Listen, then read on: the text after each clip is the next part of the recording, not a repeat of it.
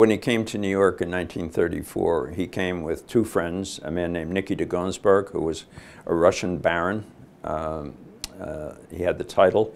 He basically had very little money because his family, the Jewish family, had made their money in oil in Russia before the revolution and, of course, lost it uh, in the revolution. Um, the other person he traveled with was a woman named Natasha Paley. She was the niece of the Tsar, um, and she was also, she was a princess. Um, anyway, so the three of them, uh, all with titles, arrived in New York with no money and um, immediately went out to Hollywood with the hope of getting work or doing something because everybody in Europe was taken by the glamour of Hollywood. Um, Nicky actually got a job working in the movies. He played the part of Dracula in one of the movies. And Natasha ended up actually being an actress, sort of a B actress. She used to play a lot with, uh, in films with Katharine Hepburn. Uh, Verdura did not find work. He was hoping to design costumes, but no one wanted him as a costume designer. So he went back to New York and he got a job. Um, we don't know exactly how it came about, but we know that the job uh, was, the person that helped him get a job was Diana Vreeland again, who keeps popping up.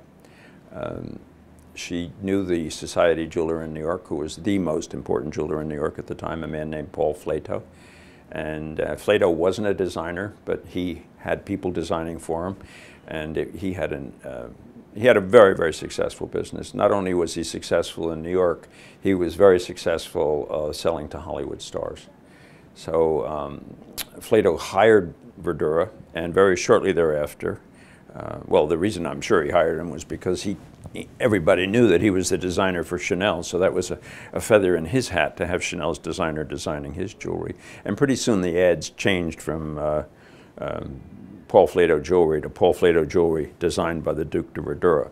So he, he was making a name for himself before he even, even got it out of the box. He was, he was being publicized. And uh, I mean, he made some very interesting things. In fact, a book came out a couple years ago about Flato, and the piece on the cover was the, was the very first important piece that Verdura designed um, when he came, when he started working for Flato, and it was made again for Porter. It was commissioned by, by Cole Porter for his wife Linda. It's quite dramatic. Anyway, so um, he worked for Flato in New York for about a year and a half, and then Flato wanted to open a store in Hollywood and he, uh, he, he opened a, a, rather beautiful store, sort of Art Deco store on Sunset Boulevard, and he sent Verdura out to Hollywood to run it. So Verdura was in Hollywood for, I guess, about a year and a half or two years. And then in the um, end of 1939, it came to light, unfortunately, that uh, Paul Flato had a cocaine habit, and he'd been swapping his clients' real stones for fake ones. And uh, it was front page New York Times news, and he was sentenced to Sing Sing prison, which is uh, pretty bad for a jeweler, and it's pretty bad prison too.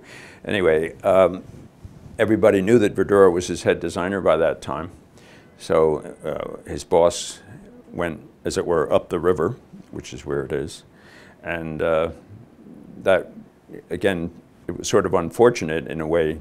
I mean, that it happened that way, but uh, that gave Verdura the opportunity to open his own business. And he was, uh, uh, he had the background of being, worked for Flato in Hollywood. He'd worked with all the clients in New York, and he's a very lucky man to be in the right place at the right time. Um, after uh, Paul Flato went to jail at the basic, I think it was the end of August, well, Fulco decided because he was the designer that he would, he would have an opportunity to start his own business because um, Flato had a great clientele, and where were they going to go? And also, the clientele knew that Fulco had been designing the jewelry, not only on the East Coast, but the West Coast. The Hollywood crowd knew him because he'd been out there.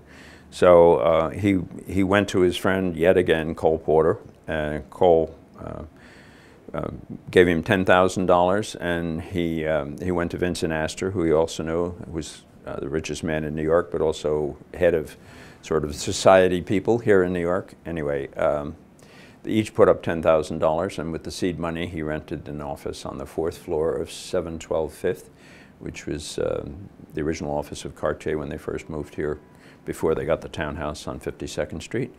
and uh, off and running. He had uh, he decorated it in sort of red. It did look Sicilian, sort of red plush with lots of gold trim.